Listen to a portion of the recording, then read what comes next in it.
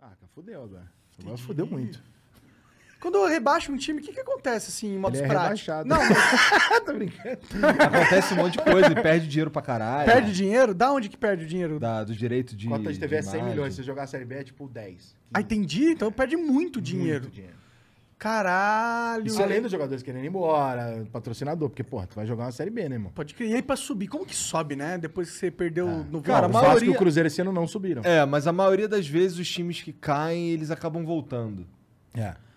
Engraçado, Time né? grande, né? Engraçado, né? Porque Botafogo pedem... subiu. Engraçado, eles- é, é porque eles têm um talento ali, né? Ele, apesar de Não, terem é caído a na segunda verdade- divisão, eles É, são bons o suficiente pra voltar. Camisa é foda também. Camisa? É, quando tu olha pra seleção brasileira, tu não sabe quem tá jogando. Tipo você, você é um cara perfeito pra isso. Hum. Você não sabe quem tá jogando, você não acompanha. Sim. Tu liga a televisão, tá jogando Brasil e não sei o que, você fala, vai dar Brasil. Ah, É instintivo. sim. Camisa é fora. Quando você olha pro Vasco, Botafogo, Cruzeiro, você fala, pô, meu irmão, não sei quem tá ali dentro, mas se tá ali é porque sabe jogar mais do que os outros. Sim. Então tem é, o- o- essa porra te pesa, entendeu? Pode crer, pode Essa crer. porra pesa. É, o, futebol ainda o Cruzeiro tá perdendo um pouco isso daí, né? Isso é perigoso, pesa. É. inclusive. Não, porque o que fizeram com o Cruzeiro é surreal. Mas o Cruzeiro, cara, ele vai ser vendido. Vai ser o primeiro clube com dono do Brasil. Tu vai vendo que ele Será? vai parar. Você vai vendo Tem, tem, vai uns, tem uns caras já, já Botafogo também. sondando, né? parar. É. Tu vai vendo que ele vai parar. Você acha que isso é bom? Porra, isso é salvação, irmão. É? Mas tu Não gostaria é que financeira, não. É dos caras conseguirem sentar numa mesa e não ter as aberrações que nós tivemos esse ano, por exemplo, com a diretoria do Flamengo brigando com as outras. O que aconteceu? Vocês querem fazer uma liga. Vamos fazer uma liga. Então vamos todo mundo sentar aí na mesma direção. Aham.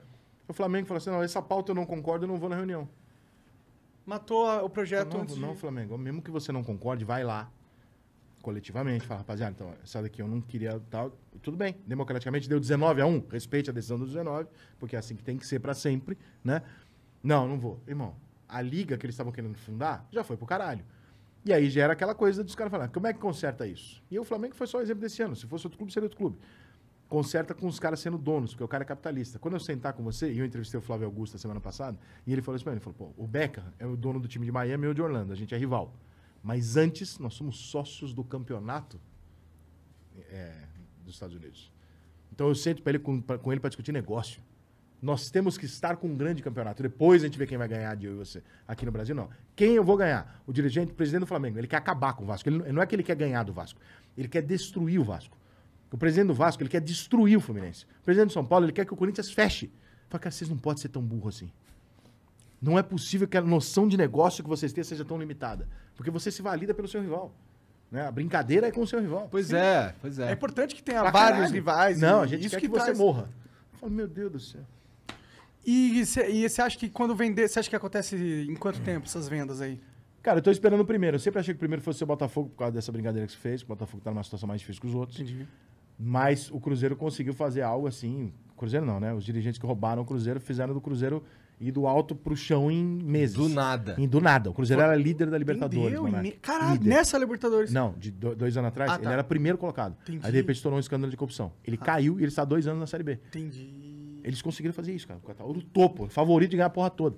Derrubaram o time e acabou. Pra você ter ideia da merda que fizeram lá. E não estão presos, tá? Tá tudo bem. Porque é igual a estatal. Dinheiro de ninguém. Você tem um dono, Diferente. Ele vai querer caçar os caras até a morte. faz, irmão. Mas tu, tu imagina o São Paulo tendo um dono? Imagino.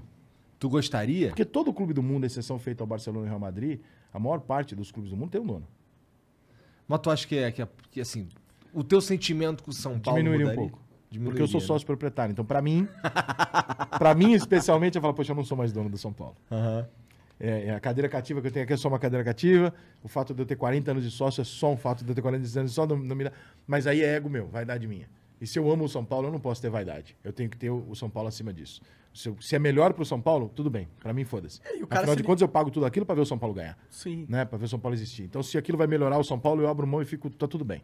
E se o dono for inteligente, ele pode abrir uma parte do, da empresa. É, ele pode. pra Não, eu acho que tem essa negociação. Tipo, quem é sócio e tal vai ficar com X, porque também não dá pra você simplesmente, né? Porque ele tem que comprar de alguém. Sim.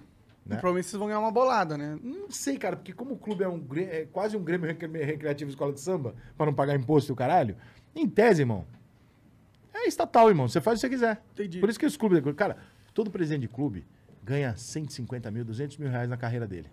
Aí ele larga tudo pra ser presidente de clube onde ele não é remunerado. Ô, Monark, quer mentir pra mentiroso, irmão? É.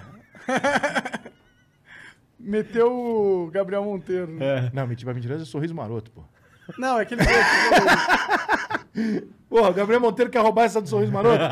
Você vai tomar no cu dele, que eu vou ligar pra aquele. Bom, ele tem um Eu vou ligar sorriso pra aquele. maroto, né? Aquela, aquela- Porra, ele foi no meu aniversário outro dia, ele postou uma foto. Hum. Ele apareceu lá no meu bar, lá, tipo, ele pegou uma foto que ele fez uma foto que ele tava muito gazela. Ah, aí sim. ele postou a foto e eu falei assim, aí. Quando ele mostrou a foto, eu falei, vai ficar ruim pra tu essa foto aí, hein? Pô, não, não sei o que, não sei o que lá. Dia seguinte ele postou todo mundo embaixo. Viado, não sei o que, não sei o que. lá. Eu falei, eu te avisei, viado. eu te avisei que essa foto não tava boa pra você, cara. Pô, eu escuto o conselho. Agora tu amigo. deixa essa porra aí, mano. Agora é contigo. Quer apagar é pior, né? Pagou é pior. Agora deixa aí, mano. Agora-